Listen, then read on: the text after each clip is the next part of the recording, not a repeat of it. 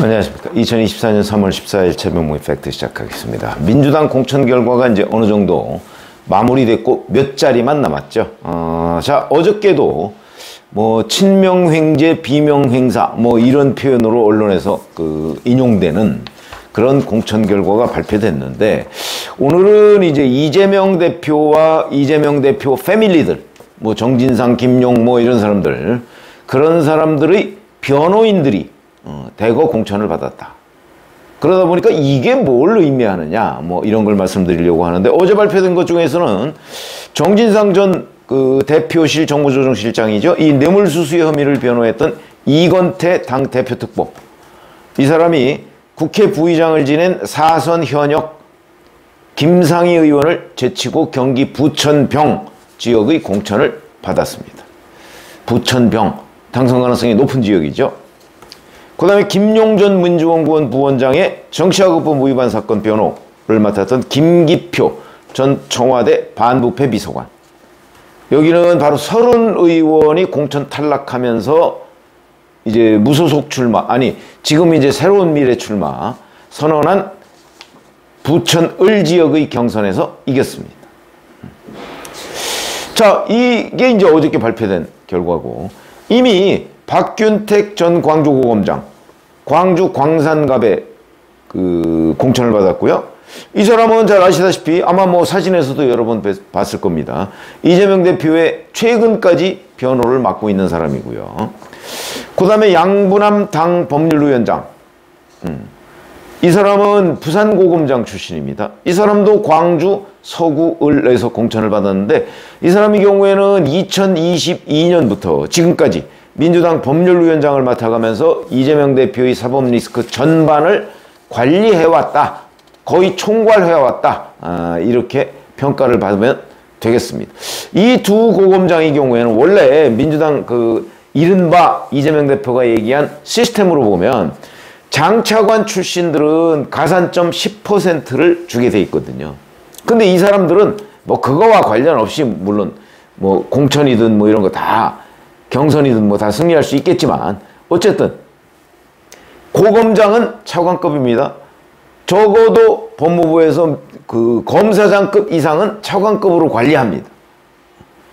근데 그럼에도 불구하고 이 사람들은 정치 신인으로 분류해서 20점에 20%의 가산점을 주었다. 그거는 이 검사장, 고검장, 특히 양분함, 박균택, 이재명 대표의 변호인인 이 두 사람을 위한 맞춤형 시스템 아니냐. 이렇게 얘기를 할 수가 있겠죠. 음? 뭐 그거 아니어도 음? 양분함, 박균택 이런 사람들은 광주에서 충분히 경선을 하든 뭘 하든 뭐 아마 공천을 받았을 겁니다. 거기에는 이재명 대표의 의지가 제1요소다 이렇게 말씀을 드릴 수가 있죠. 이뿐만이 아니라 김동하 변호사라는 사람 청년 전략직으로 선정이 됐고 그런 식으로 룰을 이제 바꿨고 서울 서대문 갑에 그리고 3인 경선에서 탈락했는데 곧바로 성치훈 정책위 부의장을 빼고 그 자리에 김동하 변호사를 넣어서 결국 경선에서 이기게 만들었다. 음. 이것도 정진상 전 정무조정실장의 변호인이거든요. 음. 그러니까 저는 이 김동화 변호사가 아마 경선에서 탈락한 뒤에 정진상 전 실장한테 전화를 해서 부활을 한 것 아니냐 이런 의문을 제기한 적이 있는데 그거는 이제 앞으로 현장 기자들이 음 계속 이제 취재를 해봐야 될 사항이고요. 자 이렇게 되면 결국은 이제 이재명 대표로서는 정진상 전 실장을 관리할 필요가 있겠죠. 뭐 모든 일에 정진상 전 실장이 연루가 돼 있으니까 만약에 정진상 전 실장이 진실을 말한다고 한다면 이재명 대표는 견디기 어려울 겁니다. 아마 그런 점에서 정진상의 변호인에게까지 무리를 해가면서라도 공천을 준 것이 아닌가 이렇게 판단이 되고 이 서울 서대문갑에서는 김동아 변호사가 이제 국민의힘의 이용호 의원하고 맞붙게 돼 있습니다. 이용호 의원은 전북 남원인실 순창 출신이죠. 서울로 와서 서울 서대문갑에서 현역 의원 배지를 달고 그러나 음 이제 그 지역에 사실은 처음으로 도전을 하는 셈이니까 이제 김동아 변호사, 정진상 변호인과 맞서게 됐다. 이런 거고요. 자, 이렇게 되면 여기까지가 이제 다섯 명, 이재명, 김용, 정진상 이 변호인들 다섯 명이 이제 공천을 받는 셈이 되고 여기다가 대표적인 친문 검사죠. 이성윤 전 서울중앙지검장, 전북 전주을. 물론 이 지역은 뭐 당선이 보장된다 이렇게 얘기할 수는 없는 지역입니다. 왜? 이 지역에 국민의힘의 정운천 후보가 있기 때문에 정운천 후보는 그 지역에서 한번 당선된 적이 있는 경우거든요. 그러니까 뭐 한번 겨뤄볼 만 하지만 당선 가능성이 아주 높은 건 사실이다. 어. 이렇게 되면 원래 이재명 대표는 사실을 대장동뿐만 아니고 본인과 본인 패밀리들의 변호인들을 대거 국회로 입성시키려고 했던 계획이 있었던 거다.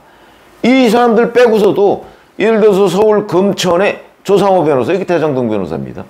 조상호 변호사 금천에 어떻게든 해서 당선을 시키려고 했는데 워낙 부족하다 보니까 아마 현역인 최기상 의원한테 경선에서 지는 바람에 입성을 못 시켰던 것이고 그 다음에 또 하나 잘 아시다시피 성남 중원에 그 현근택 변호사 성추행 논란, 성희롱 논란이 있었음에도 불구하고 어떻게든 그걸 그 징계 수위를 낮춰서까지 하려고 했는데 결국은 불가능해진. 그러니까 이렇게까지 따지면 적어도 한 10명 정도에 육박하는 대장동 관련 변호인, 이재명 대표 패밀리 변호인, 이러는 사람들을 국회로 보내기로 계획을 세웠던 것이 아닌가.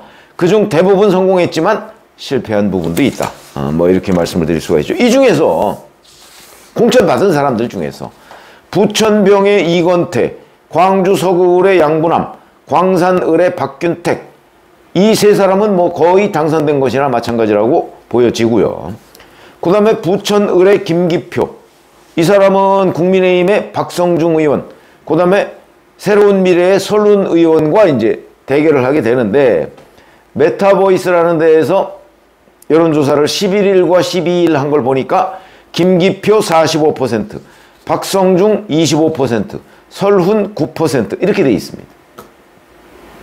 그렇다면 뭐 근데 이거는 이제 박성중 의원이 서울 서초울에서 그쪽으로 옮겨간 지 며칠 되지도 않았기 때문에 아마 부천 의뢰 그 유권자들은 박성중이 누구야? 뭐 이렇게 나올 가능성이 대단히 높으니까 요거는 조금 조정을 거쳐야 되지만 어쨌든 서른 그 조금 전까지 종전까지 민주당 국회의원이었던 현역 국회의원이었던 서른 의원이 얼마나 선전하느냐에 따라서 김기표 후보의 지지율도 달라질 수가 있다. 이렇게 보일 수 있죠. 이제 그 반사 이익을 박성중 의원이 가져갈 수도 있으니까 여기는 뭐 김기표 후보가 당선이 거의 확정됐다 이렇게 얘기하기까지는 어렵고 유력하다고까지는 충분히 얘기할 수가 있는 대목이고 소대문갑의 김동아 변호사도 아까 말씀드렸듯이 이용호 의원이 현역이고 그 이용호 의원이 그 지역에서 그 전북에서 당선될 때 광주 전남북을 합쳐서 민주당이 아닌 유일한 당선자였습니다. 그만큼 파이팅이 넘치기 때문에 이 지역에서도 그 한번 기대를 걸어볼 만하다 국민의힘으로서는. 그런 점에서 본다면 여기 김동아 변호사의 당선 여부는 유동적이다. 이렇게 얘기할 수가 있고요. 자 그럼 이렇게 되면 이제 무슨 문제가 생기느냐. 결국은 이재명 패밀리가 거의 10명 가까이 국회로 들어간 거 아니냐. 그럼 이재명 대표는 민주당 현역 국회의원들을 자기 방탄부대로 동원하는 것도 이제 성에 안 차서 직접 이제 자기 변호인들을 국회로 보냈다. 이런 얘기가 되는 거죠. 이 부분에 대한 유권자들의 냉정한 평가가 있어야 되겠다. 아니 민주당 국회의원들 공천 줘서 국회로 보내면 국회에 가서 스크럼 짜고 이재명 대표 방어 하는 거 아닙니까? 그랬더니 이제 그것도 성에 안 차는 거죠. 그래서 직접 변호인들을 공천 줘서 국회로 보냈다. 이런 얘기가 되는 겁니다. 이 부분이 과연 유권자들 눈에 합당하다, 합리적이다 이렇게 비칠 수 있을까요? 물론 민주당 지지자들 눈에는 그렇게 비칠 수 있을지 모르겠으나 중립적인 어, 유권자들의 눈에는 아마 그렇게 비치지 않을 거다 라고 판단이 되고 무엇보다도 이제 이 문제가 변호사비 대납 민셈 아니냐 뭐 이렇게 이제 얘기를 할 수가 있는데 이게 법률적으로 보면 정치적으로 그렇게 충분히 주장할 수가 있는데 법률적으로 보면 중간에 공천만 준 것이고 그리고 공천도 일부에서는 또 자기들이 경선에서 승리한 것이기 때문에 대가성을 완벽하게 입증하는 것이 저는 불가능하다고 봅니다. 그러니까 법률적으로는 의미가 없는 내용이고 또 중간에 선출이라는 절차를 한번 거쳤기 때문에 그걸 가지고 이걸 변호사비 대납이다 이렇게 얘기하기는 어렵고 다만 이런 거는 한번 얘기를 할 수가 있겠죠. 뭐 이런 사람들이 이제 대장동 또는 뭐 백현동 뭐 이런 걸 변호해 가면서 받는 일반적인 수임료 그게 얼마 정도 된다. 그런데 이 사람들이 실제로 받은 수임료가 있느냐 없느냐? 있다면 얼마냐? 그럼 이거는 예를 들어서 실제 수임료는 뭐 3천만 원인데 이 사람들이 받은 수임료는 보니까 300만 원이더라. 그러면 뭐 한 2,700만 원 정도는 뇌물 아니냐? 이렇게 이제 그 연결을 지을 수가 있는데 제가 보기에 그건 뭐 정치적인 의미고요 뭐 수임료야 뭐 싸게 받을 수도 있는 거죠 뭐 이런 여러 가지 문제가 이제 논란에 휩싸이는데 법률적인 논란까지는 아니지만 정치적으로는 충분히 논란이 될 수가 있다. 유권자들은 이 사람들을 찍을 때 정치적인 관점으로 보기 때문에 충분히 문제를 제기할 수가 있다. 그리고 이 모든 것의 결론을 한 줄로 얘기하자면 아 결국 이 당은 이재명 대표가 민주당 의원들을 방탄용으로 그 내모으는 것도 문제인데 총선을 거치면서 이제는 아예 본인의 또는 본인 측근들의 변호인들을 직접 국회의원 배지를 달아서 국회로 보냈다. 이거는 민주당이 이래저래 이재명의 사장화, 사장이다 하는 것이 입증이 된 거나 마찬가지 아닙니까? 이렇게 판단이 된다는 말씀을 드립니다. 고맙습니다.